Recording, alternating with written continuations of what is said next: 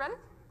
All right, everybody. I think we're going to get going. Um, thank you so much for coming to Tweets and Votes. I think that's our I think that's our title. I'm Katy Culver. I teach in the School of Journalism and Mass Communication and um, help the able Stephen Ward in the um, Center for Journalism Ethics. So we're going to talk. Um, the, the, goal of these afternoon sessions, based on some feedback we got uh, last year and in preceding conferences, was to give people more sort of hands-on takeaway messages, things you can put into action in reporting um, in the election season. So we're going to start out with just a few remarks from our very lovely and talented um, panelists, but then open it up to questions and, and feel free to ask any question. there's, there's nothing too novice and nothing too sophisticated.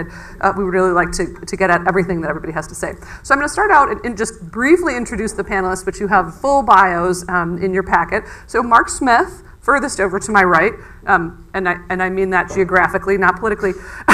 Marc heads up uh, Connected Action Consulting. He is a sociologist specializing in um, the social, or, social organization of online communities. I hope nothing broke over there. Um, and he's going to show some really interesting graphics. I, um, I followed Marc because of um, some software that he helped create, created on your own or helped work together. Uh, not the coder, yeah. Yeah, I, not, I, he's not a coder, um, but some, uh, some ways to create some really interesting visualizations of social networks. And then next up is Ryan Gallentine from Obama for America, who holds a special place in my heart as a former student. Um, so Ryan is Midwest Digital Director based out of Chicago. He's overseeing outreach, um, which is trying to take online activities and, and engage people um, offline as well. And so have, um, trying to make the campaign merge these voices. And then finally, Thomas Keeley, based in Milwaukee, who wasn't in my class, but that's okay, we'll forgive you. He's a graduate of um, the University of Wisconsin-Milwaukee. Um, he has been advising businesses and nonprofits and political campaigns um, on the power of really well executed um, social media strategies. Um, since what I think you told me since Facebook was a year old, 2005. Yeah, 2005. That's when Ryan was in my class. So yeah, we've all been at this for a while. He's the founder of Keeley Company, which has um, had. Uh, we're, we're, not going to talk about current clients, but in the past, um, clients including Mark Neumann um, and Ron Johnson, both from Wisconsin. So we're going to start out with Marc. Take the floor. All right, thank you. Uh, hello, all. Uh, I'm Marc, uh, Marc Smith. I'm a sociologist. Um, I'm also representing an organization, a not for profit, called the Social Media Research Foundation. I hope that's still on. Uh, we make software and we give it away. And so we uh, believe that we are in the business of converting money into software. And what software we give away is something we call NodeXL, and that's the Network Overview Discovery and Exploration add-in for Excel. Uh, the short description is if you can make a pie chart, you can now make a network diagram. And so our goal, and I'll be quick, is just to note that there is a little bit of social media, and that for the most part, civil society moved there and that most of the public discussion about who we are and where we're going is happening there. Um, now, things like Twitter may be a small part, but I think it punches above its weight. It really seems to seed new concepts, uh, but also places like Flickr and Facebook and YouTube, all very important. When you do these things, you're forming connections with one another, and those connections leave traces. Uh, we are interested in the collection analysis and visualization of collections of connections, of the ways that people link to one another in social media. And there are many ways in which people link to one another. I like to call these things the internet verbs, the uh, like, link, reply, rate, review, favorite, friend, follow, forward, edit, tag, comment, check in. Uh, these are all the ways that you actually form an association with another person. And so my punchline for you today is think link think about the ways that entities are connected to each other. And the challenge with ThinkLink has been that the tools are just not there. The tools require that you be a programmer.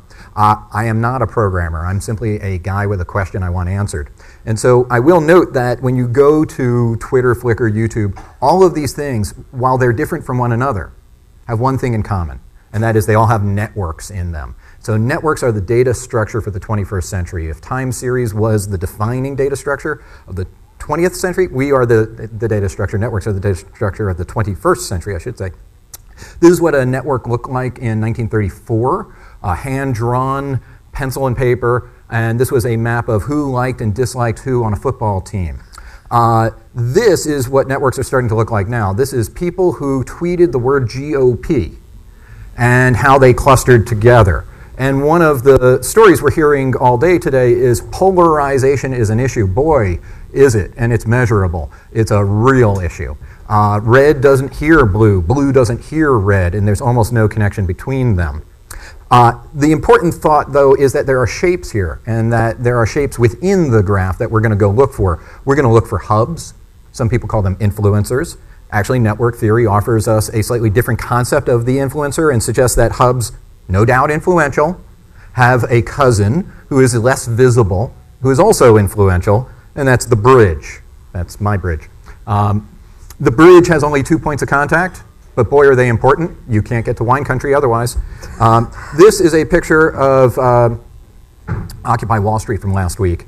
No. Um, th th this is Occupy Union Square from 99 years ago, literally, 1913. Uh, point to make here is that people come in clusters. They are not a monolith. They are not a uniform mass. They are not a regiment. They come in clumps and that crowds continue to really matter. There's Mr. Obama with his crowd. Uh, crowds matter. Uh, certainly 2011 was the year of the crowd, but crowds, larger crowds, now form online than ever form in physical places. The cyber Tahrir is orders of magnitude larger than Tahrir itself. The challenge, as Mr. Obama is pointing out, and I think this was when he announced the federal program to support social media research. No, it's a good idea though, really is. Uh, that is his tweet stream. That's the Obama tweet stream. But you know something? That's not a crowd, or at least the interface to it is not a crowd.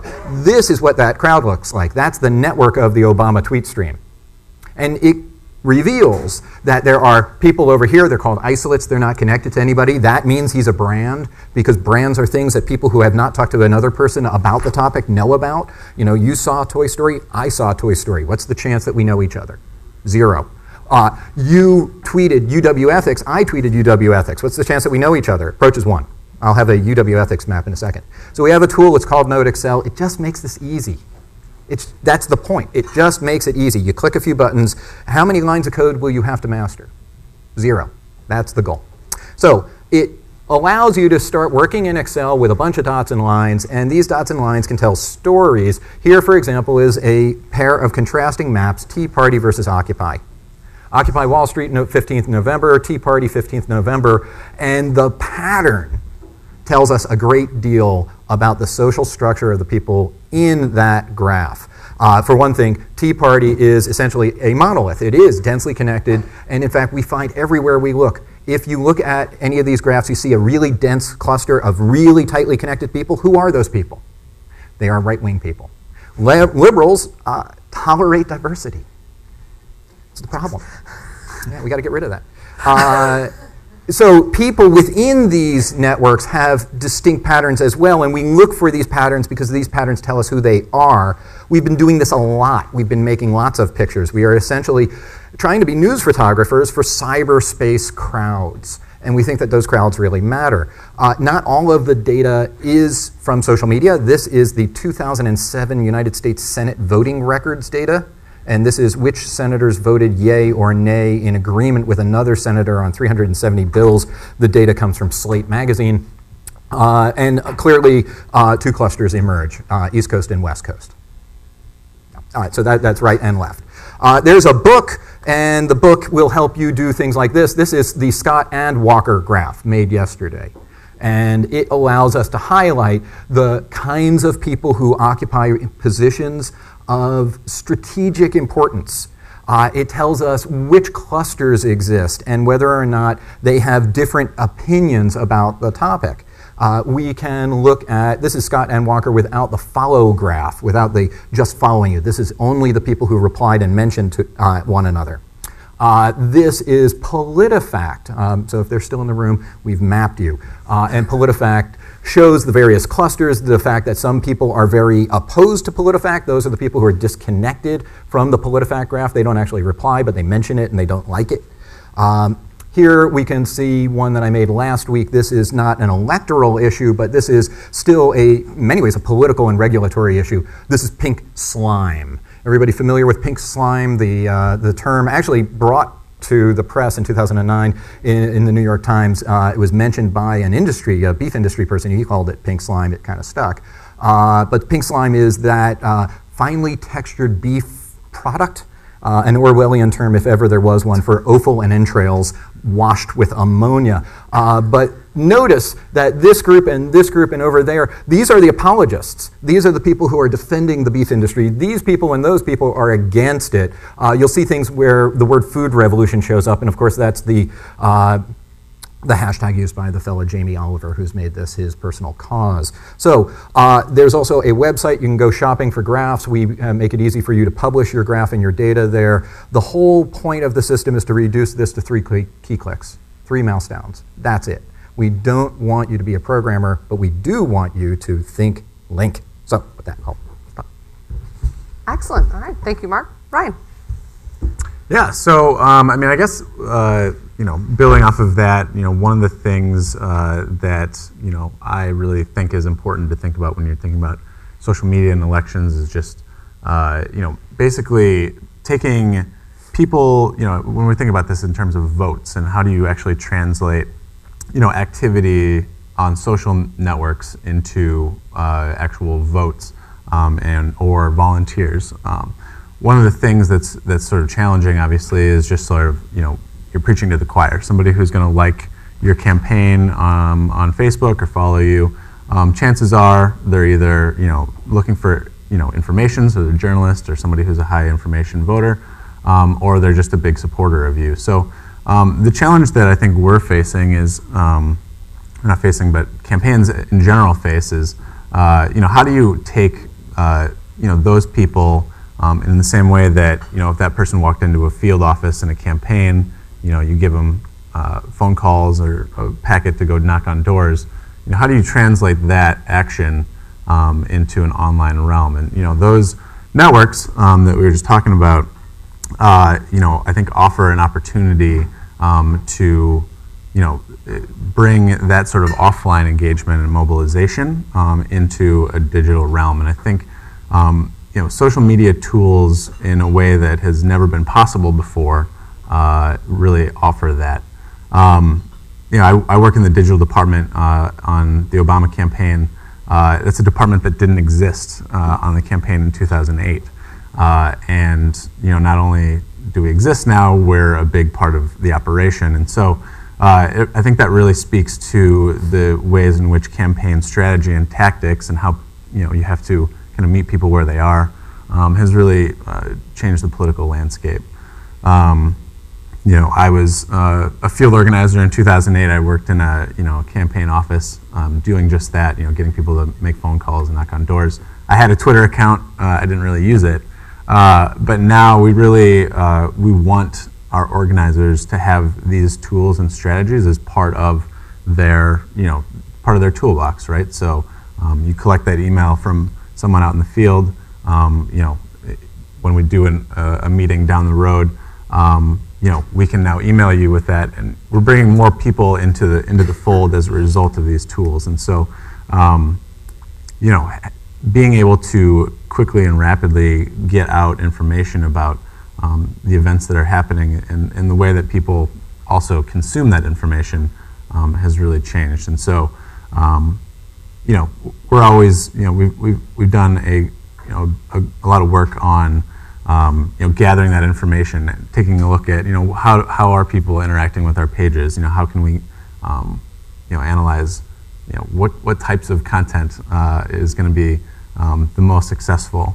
Um, and I think, you know, obviously, you know, I, I don't want to share too much of that, but like, but uh, you know, Thomas I think is what's, taking notes. I think so what's, yeah, I think what's funny is that, uh, you know, people don't necessarily want the like long policy diatribes. Inevitably, the things that are um, you know shared the most and engaged with the most are um, you know sort of funny things or playful things. You know, Barack singing at the Apollo, or a picture of Bo, the dog. Um, you know, uh, it's just a, a, matter of course that that people use these tools, you know, as a entertainment platform as much as anything else. And so, you know, the fact that you know, we, we kind of have to tailor our message and our streams to, to people who, you know, um, are not high information voters, but they're um, interested and engaged um, with campaign at sort of a, a, surface level, and how do we sort of impact those people? And I think that's one of the things that, that we're really focusing on.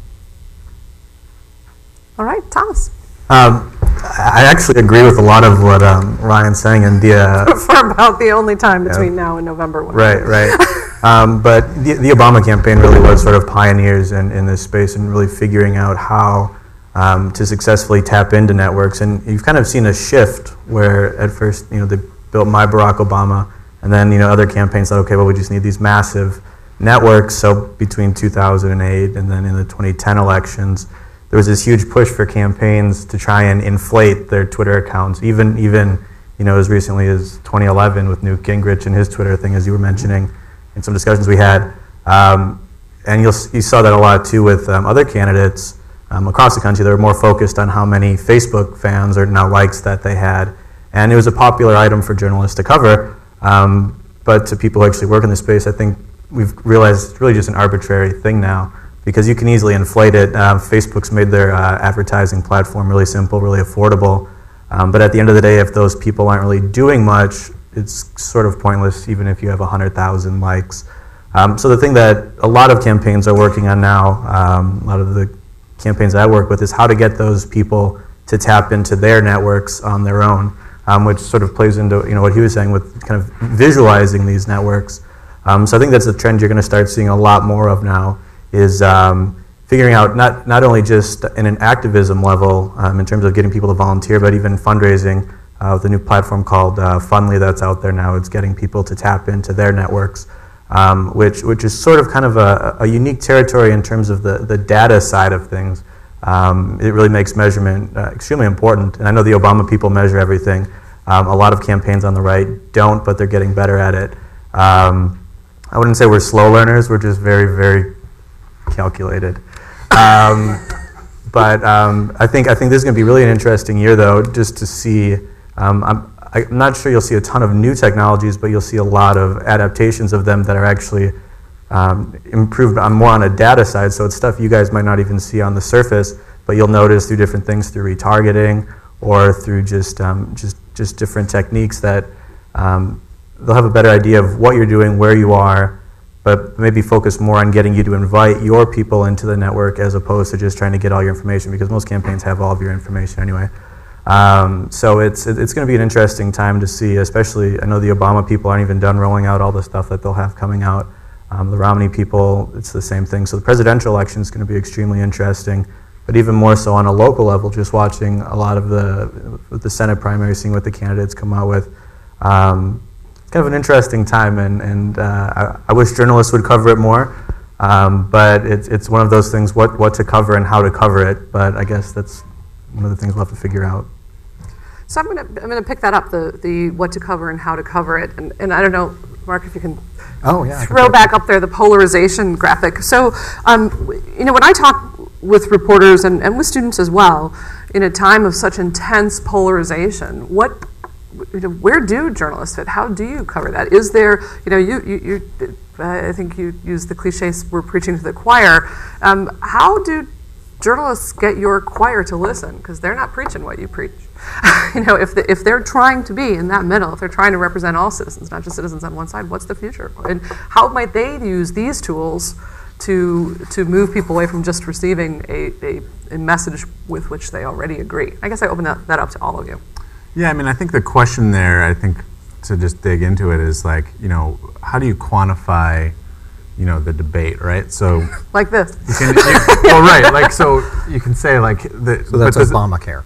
Sure. Well, there's a there's a difference between volume of communication and actual like what's the thing. So, do, do I think the question is do um, the people who are most vociferous or just loud on an issue, um, does that really represent the, the majority or sort of an electorally significant um, sector of the population? And you know, I, I, don't think that that's always the case. Um, and I think one of the things that's challenging, I think, for covering uh, journalists covering this is, you know, how do you how do you discern whether somebody, if just because they're influential, doesn't mean that uh, you know that's going to affect how the election, the outcomes of the election. So um, that's not an answer; it's more of a question. But I think it's uh, you know uh, an interesting um, thing where like you know we have very influential people um, on these social media tools with lots of followers. Um, you know they're going to be able to have a louder microphone, but does that actually change minds? And that's sort of how you measure the effectiveness of these tools? So, Marc, what do you think about that kind of measurement? I mean, how do you measure? You know, if you're uh, if you're Mark Pitsch over here from the State Journal, and you're looking at um, covering the gubernatorial prime Democratic gubernatorial recall primary, um, and you see Barrett Falk really separated, how does what, what does he do in the middle there? How how does he draw people from those two camps? Right. Um, so I'll first agree that influence is a term that has been widely used in this field, and that the, the search for the influential is the main goal. And the problem I have as a sociologist, I have to say, uh, there's more than one kind of influence, and that there is no um, clear distinction in our notion of influencer. And so I'm going to offer you an alternative term to uh, think of what, what is this goodness that we're looking for, and that is strategic location. And so here you see that some people are over here, they're isolates, they're in this lower right hand corner, they connect to no one. But they said the word Obamacare. Are they influential? Well, if you're looking for new voters, those people are the most important people in the room. But wait, what about these people? Uh, so the, the size of the square that you'll see here is equal to the number of followers they've got. But some people have huge follower count and have no strategic location quality within this graph. So talking about Obamacare, these people have big follower counts, but they're not at the center of this conversation. And that's a distinction that network theory can reveal. I call these people with lots of followers who come into a discussion space visiting dignitaries. But they're not, you know, if, if Oprah says the word Obamacare, that's great, and that's a lot of visibility, and I would say Oprah counts as a Jupiter class object in the Twitter sphere.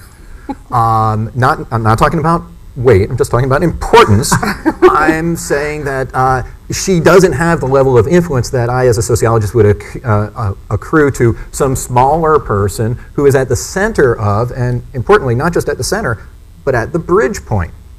And so hubs are easy to think of as influencers. They're well connected. But bridges are hard to think of as influencers. They often have very few connections, but they're the only bridge, let's say, to another language community or another professional community. And these bridge people, we have a word for measuring their quality. We call it betweenness centrality. Why don't we go back to calling them the bridges?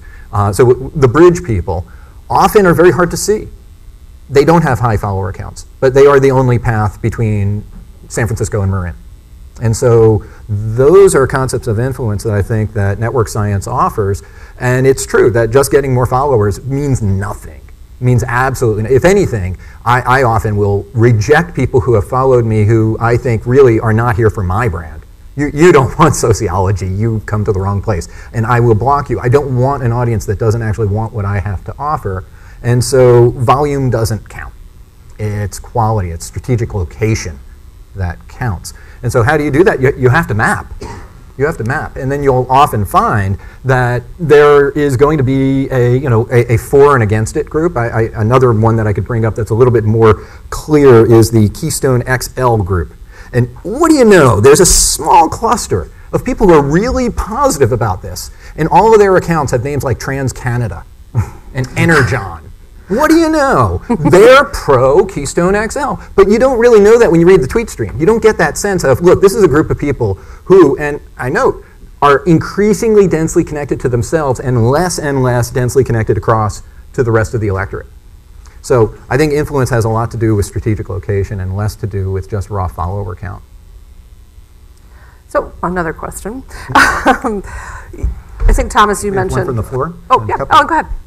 So show me on your graph where you refer to people that are these lines over. Yeah, let me see if I can find one that's So a again, let little me just repeat the question for those people out in the, in the world who want to hear it. Ellen asked, um, where on this do we find a bridger? How can you identify that person or those people? Right. Uh, there are, and maybe I'll, I'll bring up a different image to illustrate this. Um, So here, this person in the Tea Party graph, I'm sorry, this is the Occupy graph, uh, this person connects to this other cluster.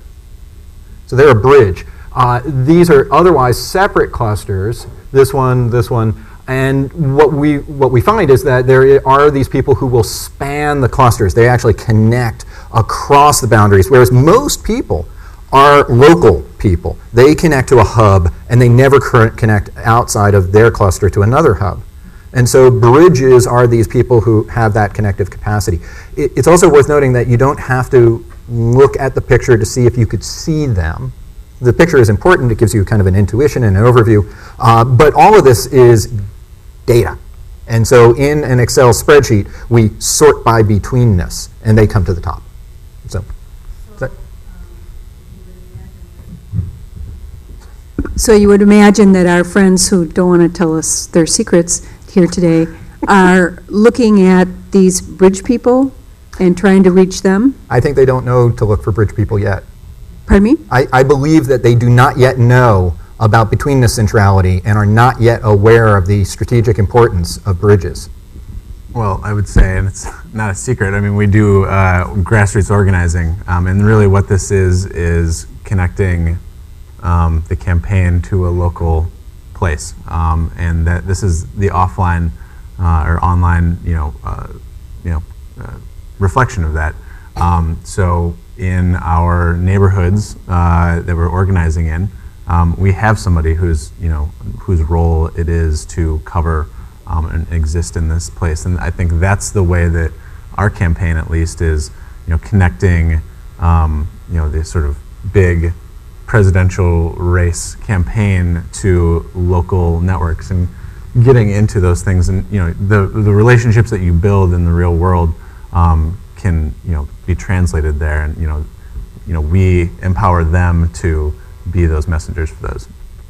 And, and in terms of the, the influencers, I think the only significance they really have on the campaigns I've worked with and working for now is for the press team, just in terms of disseminating um, press releases. And it's usually, you usually email those influencers to see if they can post something on Twitter, which is always kind of interesting to me. But in terms of um, you know, some of these, um, these outliers or the, even, even the ones that don't necessarily connect to these clusters, that's, those are the people at the, on the ground staff are now paying attention to the field staff in their areas. It's really, especially on Twitter, for example, it's easy to search by a, a geographic area. It's not perfect, but you can do it. Um, and that's what a lot of field, field uh, reps are paying attention to in specific geographic areas, whether it be county or region. And those are the people that they'll answer the questions for. It may not be the main campaign account that's paying attention to it, but there's usually somebody paying attention to everything that's going on in their area. Did you have a follow up to that, Marc? Oh, Uh, Well, I- I'll just note that in these two images, the, the takeaway for me is that uh, over in Tea Party, there are relatively few isolates. Few people talk about Tea Party who are not already friends, followers, or connected to other Tea Party people. Occupy has, at least this was in November, and things have changed, and it may change again, but uh, Occupy is a brand. This was a community. And, and I don't mean that in a disparaging way unless you're trying to elect somebody, uh, but you know, communities are in groups and they don't have a lot of visibility outside of their community. And so, for example, who will ever say the hashtag UW ethics who was not in this room or knows somebody in this room? You know, it starts to approach zero. Very few. Whereas these topics are things that should be in the public consciousness that lots of people can talk about. And what I see here is that Tea Party is essentially consumed all the oxygen in its space and has attached itself to all the people who are Tea Party. You know, there's a kind of angiogenesis kind of thing. They're reaching out to all the sources of energy they can, and they've done it. And it's over because the number of isolates is not increasing. And so these are the kinds of insights I think that can illustrate some changes. Now, uh, lots of caveats here. This is Twitter. It's only Twitter. This is not reaching into the minds of 220 million adult Americans and finding out what they really think and how they connect. This is people who tweet about political topics in Twitter. And we know that that requires a lot of bracketing to say, well, is this representative? I, I, I don't even attempt to make the claim to representative uh, quality of the data. My goal is to study social media. That's that it, it is representative of people who talked about these topics in social media. By way of background, what do we know about that percentage of, of American adults who are on Twitter? What was the percentage? 13. 13. Yeah. What, what do we know about that percentage? Are they you know, more educated? Are they richer? Are they younger? Are they more male? What? There's a lot of demographic discussion. I mean, I, the one thing I will say is you, you should be issued a very large grain of salt whenever anybody gives you a user count number. Uh, so, for example, there's a very good chance that 90% of these numbers are people who logged in once and never will log in again. So we should, I, I like to just simply whack every number down by an order of magnitude to get a, a, a little bit of a sanity check on it. Yeah, Pew's data actually does a pretty decent job of, of doing those counts by by frequency of, of, of activity. So I think there, there are some more reliable numbers out there than others. But I want to come back to a point that you made, Thomas, for journalists about um, you know covering these false or inflated. I mean, I suppose inflated would be the, the generous word. Lying would, be, would maybe be the right word, but these numbers of followers and the numbers of likes, and you said that's really not where the, the story is because we it, they're not accurate. They may have been purchased. Give me some other stories that should be followed. If I, you know, if I'm a political reporter and I'm, I'm covering the Wisconsin recall or I'm covering the, um, the, the let's all replace Herb Kohl race, what are some of the stories I should be doing? I mean, it's, it's, a, it's a challenge to kind of ask a geek what a, what a journalist should be writing about for the masses. But um, I think you know um, a, a lot of it is maybe not even in terms of uh, writing. You know, just simple things like these graphs are making them interactive and just kind of laying it out for people and explaining what's there, and then letting them explore um, from there. I think would just really help people kind of understand what's really happening. Um, the same way you know a lot of newspapers are doing with um, campaign contributions. They're not focusing as much on putting names in there, but they're giving you these searchable databases and these different tools you can use to visualize.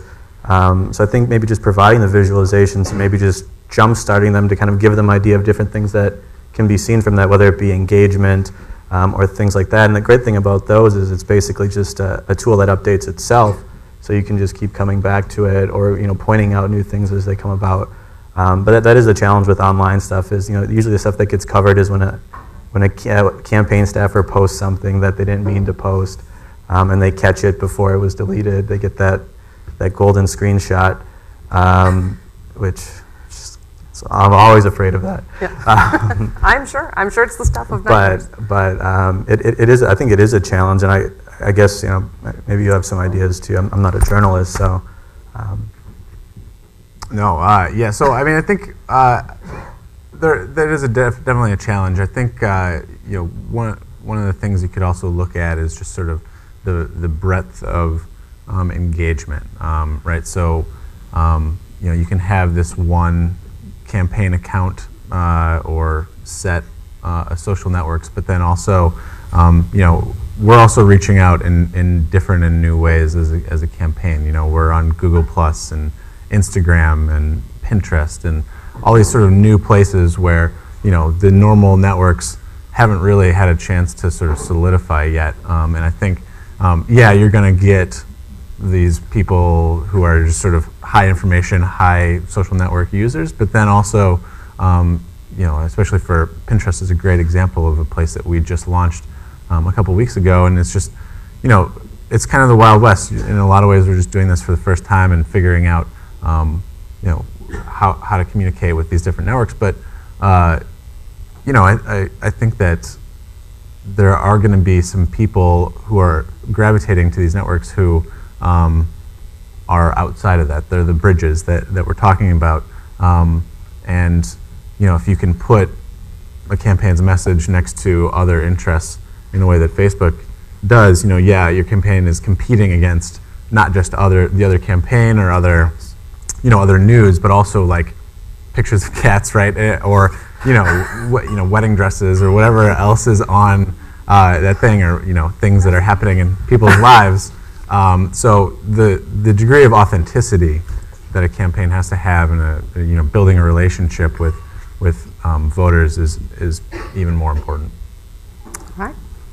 Mark, I'd like to ask you, uh, maybe a little bit of a technical question, but is it going to be possible, or is it possible to bring a geographic dimension to your graphs?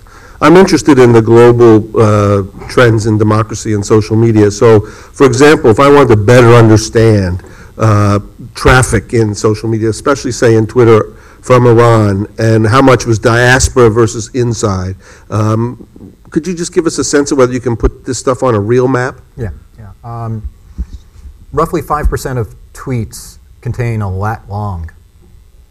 So that means that you tweeted from your phone, it had GPS, you said yes to the can Twitter know your location, and it actually put your lat long on there.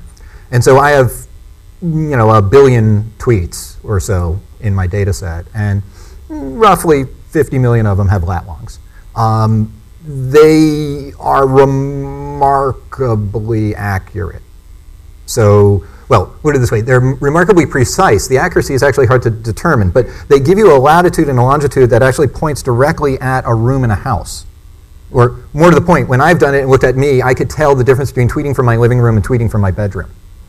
Okay? So yes, remarkable precision. Accuracy is hard to determine uh, because you don't really know that the person was there. But yeah, it is relatively trivial to take this data and pump it into Google Maps, Google Earth, Bing Maps, any of OpenStreetMaps. Um, and it's a very active area of cyber geography. I think about the work of, for example, Mark Graham at the Oxford Internet Institute, who looks at who edits the various language Wikipedias from which countries. And it turns out that there are more edits to the English language Wikipedia from Hong Kong than all of Africa. Says something about the differential rates of accessibility, affluence, network connection. So, uh, short answer, yes. Uh, if you're willing to accept a 5% sample, where you know most tweets do not have a lat long, um, and the kinds of people who put lat longs on their tweets are the people with smartphones. So you're skewing your sample again and again. Uh, but I'll also point you to the work of Morningside Analytics, a group in New York City, up in Morningside Heights. Uh, and they recently, re, uh, well, in 2008, they produced a report with the Berkman Center uh, studying the Persian blogosphere. They have just released another Berkman study uh, studying the Russian blogosphere.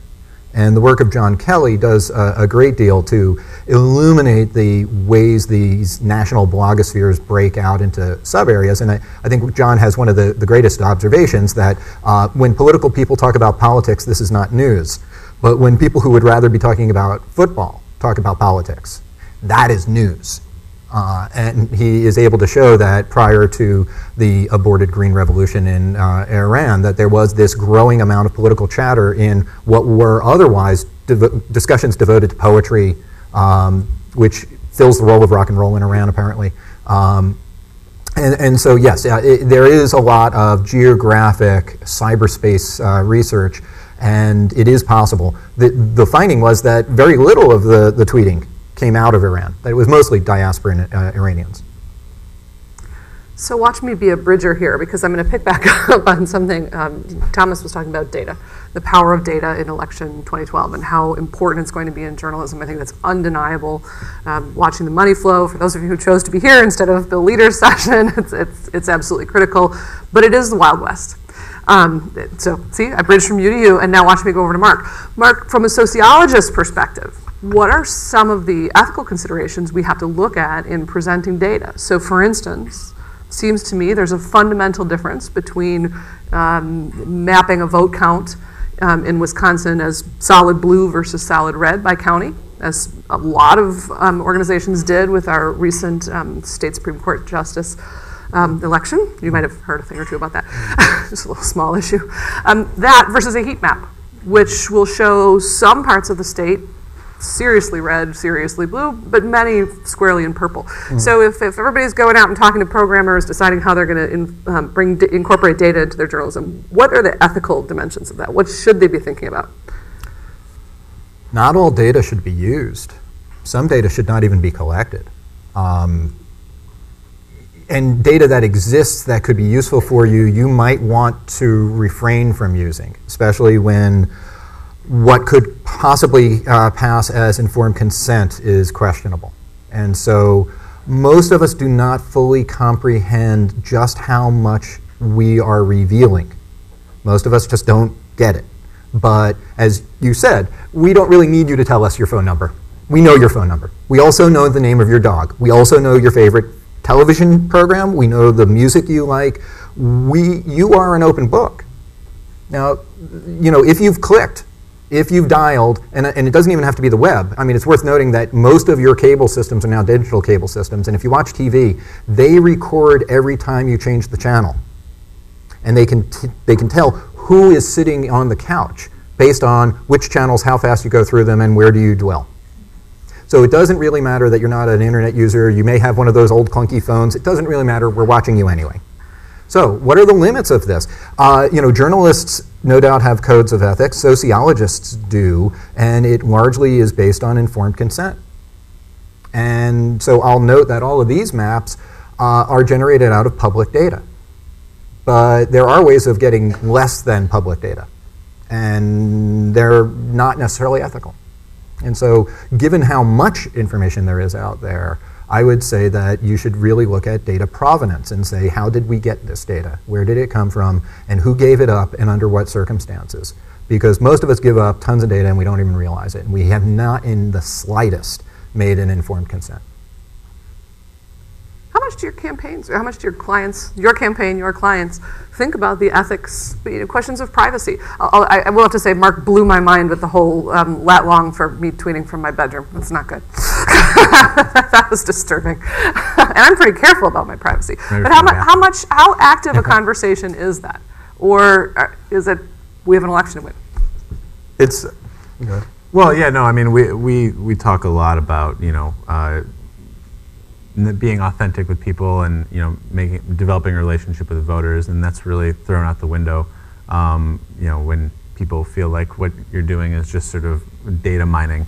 Um, you know, what our campaign has really tried to do, I think, and I think past campaigns have tried but haven't had the manpower, uh, is just sort of treating um, the individual voter as an as an individual and not part of a you know geographic or voting block. Um, and so, so taking some of these data applications and delivering something uh, that is meaningful to voters. So, you know, uh, we know that um, you know you clicked on um, a link to you know you know from a, a source of from on Facebook of a picture uh, or something like that. Um, and maybe you're interested in something that was contained in that picture. And so what we're going to do is, you know, turn around and you know deliver you more information about, uh, you know, about those issues and topics that you've sort of opted into, not verbally but by your actions. And so I don't view that as unethical. I view that as, um, you know, tailoring a message to be the most relevant to your constituencies as possible. Um, and I think that treating voters as people and not groups, uh, I think in the end is more ethical than and more authentic. Yeah, I I would agree off of that. Um, I'd kind of to piggyback, piggyback off of that. Um, you know, the same holds true with a lot of the campaigns I work with with email. Um, if they're more, if uh, constituents or uh, volunteers, whatever, are more inclined to open certain types of email, then we know in our databases to only send them those emails. So it actually, you know, the more data we have, the the more enjoyable we make what usually is a stressful campaign time.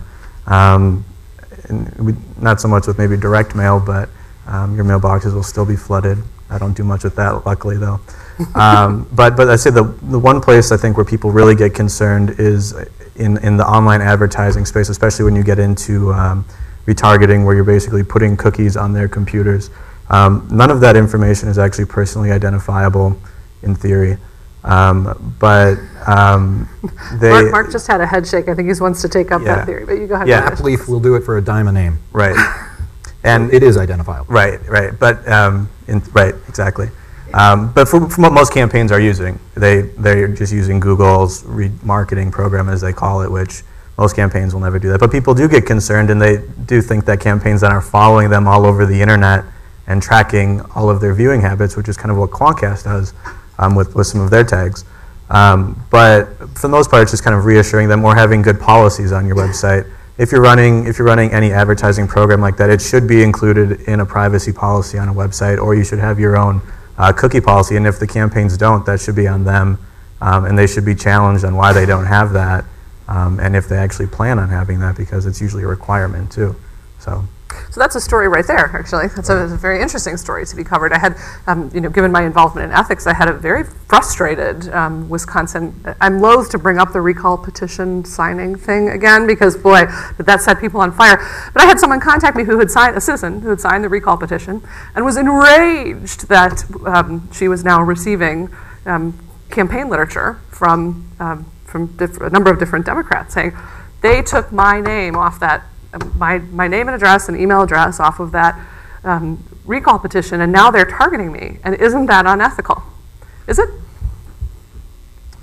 Uh, well, I mean, it, you know, people. I think it gets to what he was saying is that people put put out things in the world that they don't necessarily realize is is public. I mean, your voter registration form, the information on that is public file, and uh, campaigns.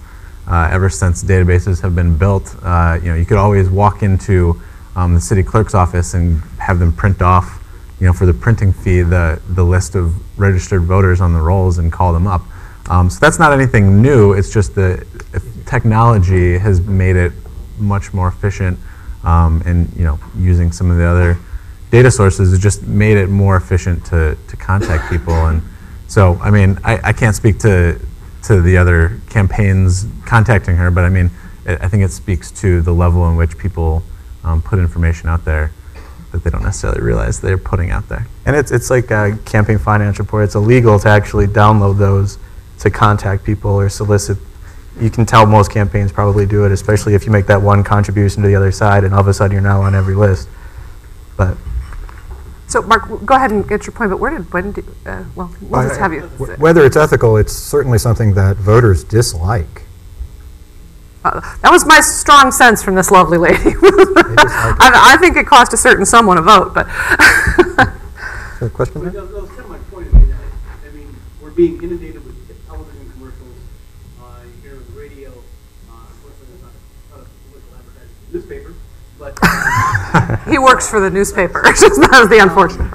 but isn't there a danger? I mean, how, how careful do campaigns have to be about inundating uh, the electorate with now things on email and Twitter and Facebook and? So the question is just to repeat for those who are watching on video. The question was, how scared um, do campaigns have to be? How careful? I don't believe you used the word scared. How careful do they have to be um, with inundating people with these kinds of messages? I, I, Go ahead. I would say I would say very careful, especially when you mentioned Facebook, Twitter, or email. It's very very easy on Facebook. Just you don't want to see updates from this person anymore, which basically makes them entirely inaccessible to the campaign because they're not going to see your updates unless they actually go to your page. Twitter, they can easily hide you from their feed depending on what programs they're using. And email, it's very easy to just mark them as spam or create a filter. You know that'll go to some folder where you might read it if you feel like reading political stuff, but usually you never do.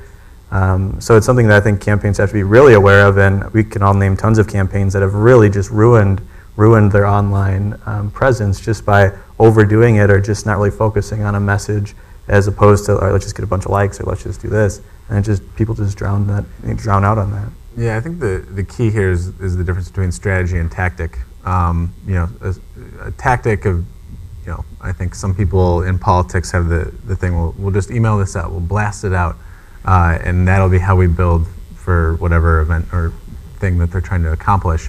Um, but, you know, if, if you know, 25 people show up and you get 50 unsubscribes from that email because it was not relevant to them, it was far from them, it wasn't something that they're interested in. Um, I would argue that that's actually a net loss because, as you say, you know, those, you know, you might have gotten some people out uh, or have take, you got some people to take action that you wanted them to, but at the same time, you've now lost, you know, 50 people that you can go back to over and over again if you hadn't bugged them with that. So I definitely think that you know uh, there's a cost associated and a value associated with all the information and opt-ins that you have, and when you lose those, that's that's a real tangible loss to your campaign. I, I think you could also argue that it's a tangible loss in journalism when news organizations see um, let's get on Twitter, let's be on Facebook as a strategy. When it's not, it's a tactic that you, that you need to use in service of a larger strategy. In most cases, that strategy being engagement. Um, and so, if it's all about let's get on Twitter and not about why are we getting on Twitter, in, in service of what are we getting on Twitter, I think that's a that's a big mistake a lot of news organizations can make. Maybe follow-up to that question. Um, so then how often then do you advise your candidates that they should do an actual personal tweet. So how often do you advise candidates to do a candidate tweet? And, and, and I would, I'm going to piggyback onto that. And do you um, suggest that they self-identify, that they put, you know, a little uh, TB if they're Tom Barrett? Um, I I would say I would say most candidates probably don't actually actively manage their Twitter accounts, even if it's perceived that they do. And I, that's one of my biggest pet peeves because you'll you'll catch it eventually, especially if you ever actually talk to a candidate. It's very different than from how it's posted on the internet. Um, I've I've always told clients that you don't need to be the ones posting stuff on Twitter. I don't think people really care if it's you posting it. Um, I've never really understood the um, trying to disguise a tweet to make it look like it's coming from the candidate. Um, and if you are going to do that, then you know in those situations, you know use. I guess you could identify it, but I, I don't even see a need. Some if the if the candidate is actually not going to be doing it himself or herself, then you, there's really probably not even a need unless it's a quote that you're just going to pull or something. Which And so the journalistic ethics of that would be not quoting tweets as if you're quoting a candidate, because you can be fairly certain that that's not the candidate. So it's the same reason that we wouldn't quote directly from a press release. You know, Tom Barrett didn't write that press release. That you know, he, there are quote marks around what he is alleged to have said, but the likelihood that he said it that way is very, very small. Yeah, well, I certainly don't uh, advise the president on his tweeting, but uh, we, I, our campaign, all of our uh, principal accounts uh, have in the profile, you know, tweets from um, the president or Joe Biden or Michelle Obama as uh, their initials, um, and so that is actually the way that we distinguish it.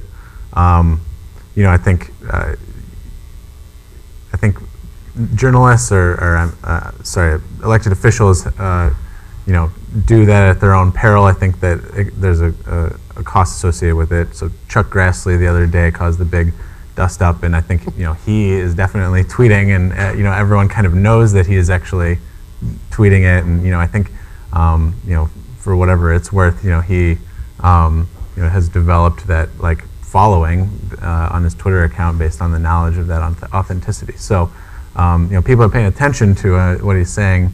Um, you know, there's a couple other senators. Uh, Claire McCaskill is another one who I think um, really takes a lot of ownership over their things. So, they uh, view it as a, a platform to go directly to the people, which they really value. But at the same time, you know, there's some perils associated with that as well.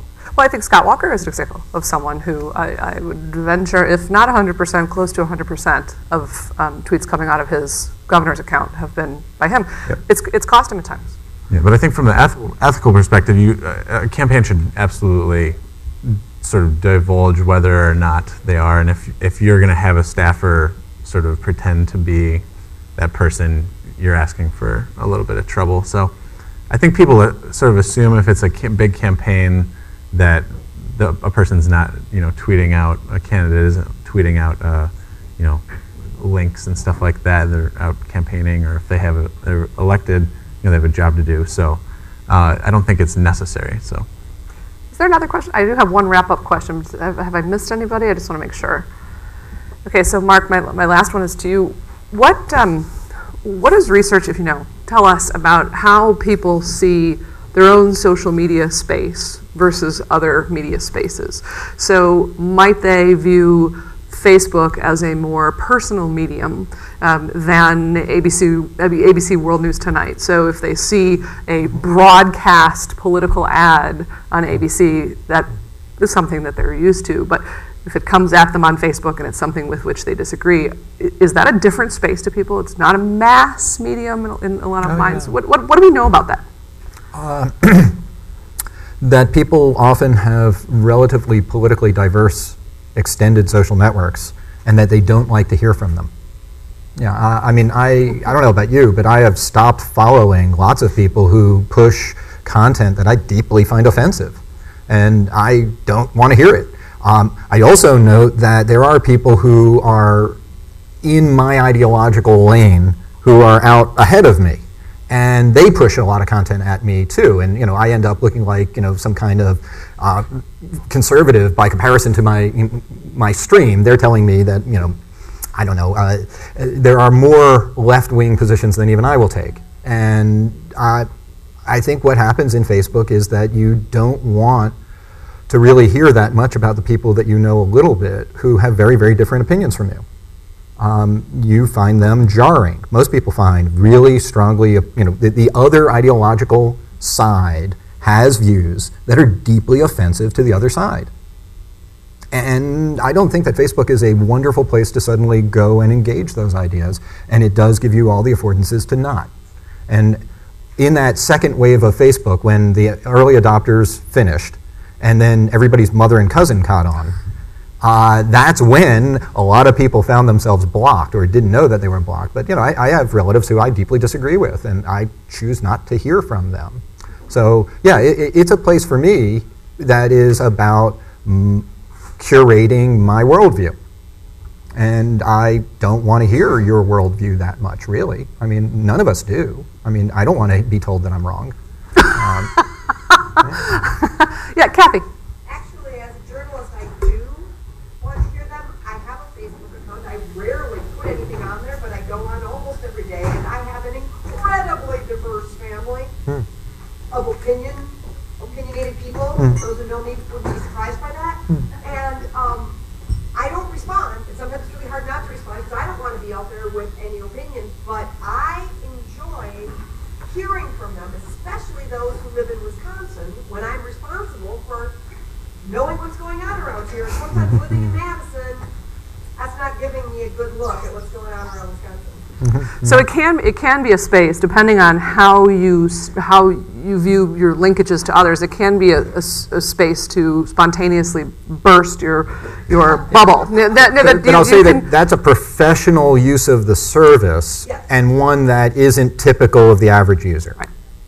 But, but, but one that is valuable for you as an ethical journalist. I, I would say in closing, as Wendy is ready to, to like take the take the hook and get me off the stage, I would say in closing that you know we ended that uh, or we were near the end of that last session with discussions about you know is it ethical or unethical for a journalist to sign a recall petition, and I would say in, in uh, that that is one small question compared to the amount of content that is available in your own social media streams. One of the biggest ethical struggles today is how much do you have to surrender your personal life in this discoverable online space to maintain integrity as a journalist. And just uh, by way of background, I looked at some of the people who were coming today who are working as journalists and found a number of things pretty easily online that I think people um, thought would be private and aren't. And so you have to be constantly aware of what is shareable, what is visible, what's public. So thank you so much to all of the panelists. I really appreciate it. Glad you two didn't come to fisticuffs. Oh, no, no. No, very affable guys. There's hope. There's hope for an unpolarized society.